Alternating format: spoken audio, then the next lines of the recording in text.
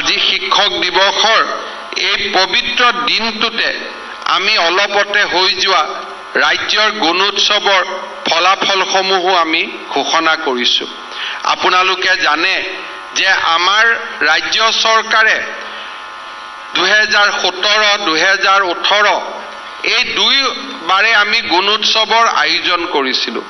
Covid পৰিস্থিতিৰ বাবে দুহেজাৰ ঊনৈছ বিছ একৈছ চনত আমি গুণোৎসৱৰ আয়োজন কৰিব পৰা নাছিলোঁ।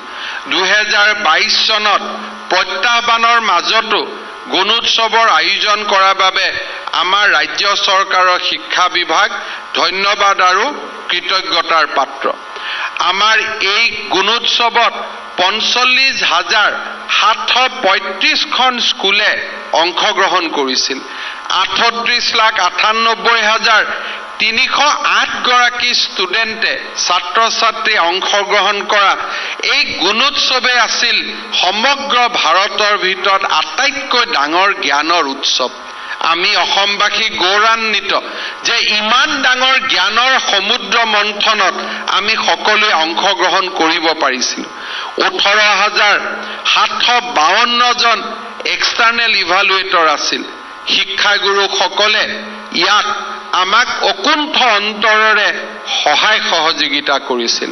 দুই এখন বাতৰি কাকতে গুণোৎসৱৰ ওপৰত প্ৰশ্নবোধক চিন উল্লেখ কৰাৰ পিছতো ৰাইজৰ উৎসাহ উদ্দীপনা অবিস্মৰণীয় আছিল। এই অনুষ্ঠানবিলাকে আজি প্ৰমাণ কৰে যে আমাৰ দুই এজনৰ গুৱাহাটীত বহি উৎপন্ন হোৱা মানসিকতাৰ পৰা আজি সমাজ বহু দূৰ আগুৱাই গৈছে। আজি অসমে ভাৰতবৰ্ষৰ এখন উন্নত ৰাজ্য হোৱাৰ প্ৰতিযোগিতাত ক'ব নোৱাৰাকৈ আমি প্ৰতিগৰাকী অসমীয়া আজি জঁপিয়াই পৰিছোঁ। যোৱা এটা বছৰত অসমৰ জনজীৱনলৈ অদ্ভুত পৰিৱৰ্তন আহিছে। মানুহৰ মনত বিকাশ আৰু আগুৱাই যোৱাৰ সপোনেৰে মানুহক এক নতুন যুগলৈ লৈ যোৱাৰ বাবে প্ৰেৰণা দিছে। আজি গুণোৎসৱৰ ফলাফল আমি আনুষ্ঠানিকভাৱে ঘোষণা কৰিবলৈ পাই মই আনন্দিত যে এইবাৰ এ প্লাছ চাৰি হাজাৰ আঠশ ছাব্বিছখন বিদ্যালয়ে লাভ কৰিছে। আমি যেতিয়া প্ৰথম বছৰ গুণোৎসৱ আৰম্ভ কৰিছিলোঁ ছশখন বিদ্যালয়ে এ প্লাছ পাইছিল। তাৰ বিপৰীতে আজি চাৰি হাজাৰ আঠশ ছাব্বিছখন বিদ্যালয়ে এ প্লাছ পাবলৈ সক্ষম হৈছে। ৰাজ্যৰ শিক্ষাৰ বিকাশে হাতীৰ খোজত আগবাঢ়িছে। কিন্তু দৃঢ়তাৰে আগবাঢ়িছে। লাহে লাহে আগবাঢ়িছে কিন্তু শক্তিশালী খোজেৰে আগবাঢ়িছে ডিটাৰমিনেশ্যনেৰে আগবাঢ়িছে। কেতিয়াবা কেতিয়াবা খোজ ধীৰ হ'ব পাৰে কিন্তু প্ৰতিটো খোজে যেতিয়া ইম্পেক্ট সৃষ্টি কৰে তেতিয়া সি সমাজলৈ স্থায়ী বৰঙণি আগুৱাই থৈ যাব পাৰে। মই ৰাজ্য চৰকাৰক বিশেষকৈ আমাৰ শিক্ষক শিক্ষাগুৰুসকলক পুনৰ এবাৰ ধন্যবাদ জনাইছোঁ। মই অত্যন্তৰে আনন্দৰে এই কথাও ঘোষণা কৰিব খুজিছোঁ যে এইবাৰ প্ৰায় পাঁচশ একান্নব্বৈখন বিদ্যালয়ত এ প্লাছ লৈ শিৱসাগৰ জিলা ৰাজ্যখনৰ গুণোৎসৱত আটাইতকৈ বেছি উজ্বলি উঠিছে।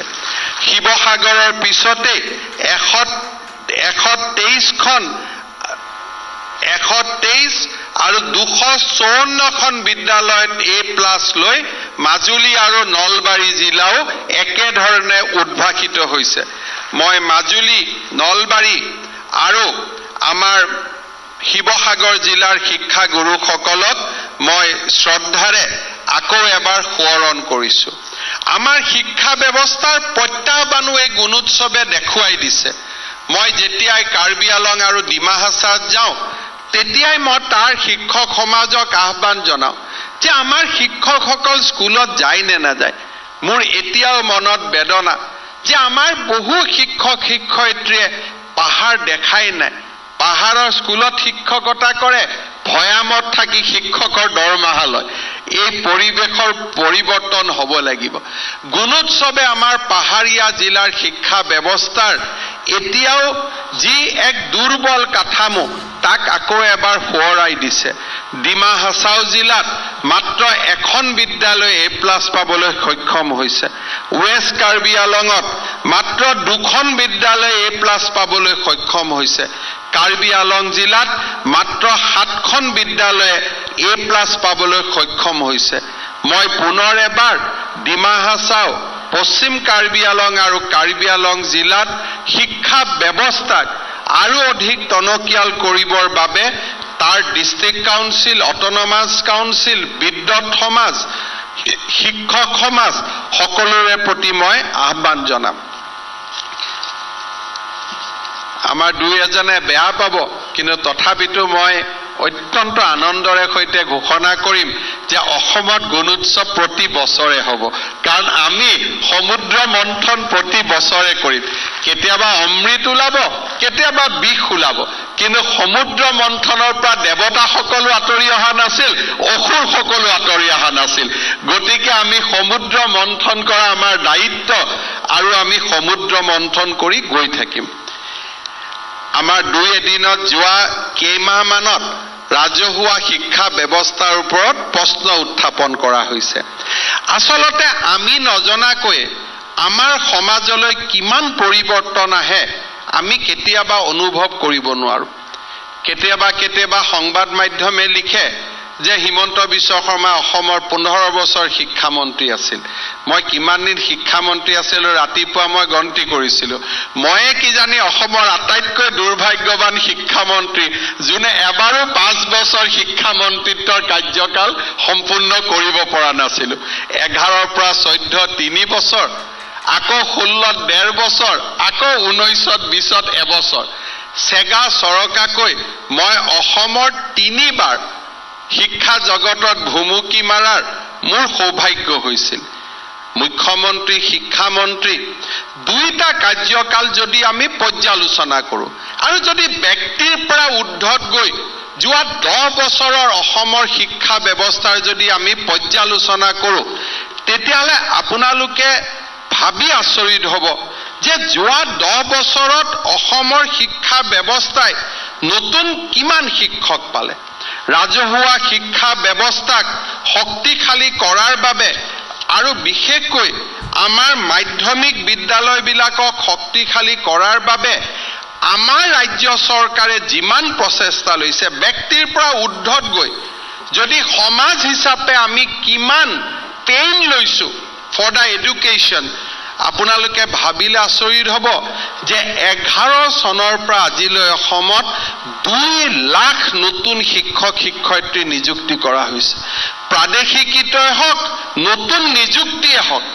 আৰু সমসাময়িক যদি ভাৰতৰ কোনো এখন ৰাজ্যত যদি এই দহ বছৰৰ তুলনা কৰে কোনো ৰাজ্যতে দুই লাখ শিক্ষক নিযুক্তি হোৱা নাই ৰাজহুৱা শিক্ষা ব্যৱস্থা আৰু অসমীয়া মাধ্যমৰ শিক্ষা ব্যৱস্থাৰ ওপৰত যোৱা দহ বছৰে যিমান অসমৰ সমাজে ইনভেষ্ট কৰিছে তাৰ কোনো তুলনা নাই। ইমান লাৰ্জ স্কেল ইনভেষ্টমেণ্ট অসমৰ শিক্ষা ব্যৱস্থাৰ ওপৰতে হৈছে আন কোনো শিক্ষা ব্যৱস্থাৰ ওপৰত হোৱা নাই। যোৱা বছৰ মাত্ৰ এশখন অসমীয়া মাধ্যমৰ বিদ্যালয় টি গাৰ্ডেন স্কুলত খোলা হৈছে। কোনখন প্ৰদেশ আছে এই সময়ছোৱাত যদি আমি চাওঁ ৱেষ্ট বেংগলত দুই লাখ শিক্ষক নিযুক্তি হৈছে কৰ্ণাটকত দুই লাখ শিক্ষক নিযুক্তি হৈছে দিল্লীত দুই লাখ শিক্ষক নিযুক্তি হৈছে দিল্লীৰ দৰে চৰকাৰে মাত্ৰ বাৰশখন স্কুল চলাই গোটেই পৃথিৱীত ডংকা কোবাই আছে। অথচ এই সময়ছোৱাত অসমত আমি বাৰ হাজাৰ নতুন শিক্ষানুষ্ঠানৰ জন্ম দিছোঁ। দুহেজাৰ এঘাৰ চনৰ পৰা আজিলৈ অসমত এলিমেণ্টেৰী স্কুল ন হাজাৰ আঠশ পাঁচখনে জন্ম হৈছে ছেকেণ্ডাৰী স্কুল একৈছশখন জন্ম হৈছে আৰু হাণ্ড্ৰেড ছিক্সটি ছিক্স নতুন কলেজৰ জন্ম হৈছে ছখন সাতখন কৰি বিশ্ববিদ্যালয়ৰ জন্ম হৈছে। মই এজন অসমীয়া হিচাপে গৌৰৱ অনুভৱ কৰোঁ যে মাতৃভাষাৰ এডুকেশ্যনৰ ওপৰত অসমে যিমান ইনভেষ্ট কৰিছে ভাবিব নোৱাৰা ইনভেষ্টমেণ্ট আমাৰ সমাজে কৰিছে। কাৰণ প্ৰত্যেকটো বিনিয়োগৰ বিপৰীতে সমাজে তাৰ পেইন লৈছে। অৰ্থাৎ এইখিনি যদি বিনিয়োগ সমাজে তাত নকৰিলেহেঁতেন দুখন হয়তো হস্পিটেল পালেহেঁতেন কৰ্মচাৰী দৰমহা হয়তো দুগুণ বাঢ়িলেহেঁতেন কোনোবা জাগাত মানুহে ৰাস্তা পালেহেঁতেন কোনোবা দলং নোহোৱা জেগাত মানুহে দলং দেখা পালেহেঁতেন কিন্তু তাৰ পিছতো অসমীয়া জাতিয়ে শিক্ষাক আটাইতকৈ গুৰুত্ব দিছে আৰু এটা দশকত দহ হাজাৰতকৈও বেছি নতুন বিদ্যালয় সৃষ্টি কৰিছে। দুই লাখ শিক্ষকৰ নিযুক্তি দিছে। আমাৰ কিছু ৰাইজৰ মাজত কেতিয়াবা ভুল ধাৰণা হয় যে মাতৃভাষাৰ বিদ্যালয়বিলাকৰ ওপৰত গুৰুত্ব দিয়া হোৱা নাই নেকি? আটাইতকৈ যদি আমাৰ সমাজত যোৱা দহটা বছৰত ইনভেষ্টমেণ্ট হৈছে আটাইতকৈ বেছি ইনভেষ্টমেণ্ট হৈছে এডুকেশ্যনৰ ওপৰত মাতৃভাষাৰ অনুষ্ঠানবিলাকৰ ওপৰত। যোৱা পোন্ধৰ আগষ্টত মোৰ ভাষণত মই কৈছিলোঁ অসমত তিনিটা উপাদান লাগে।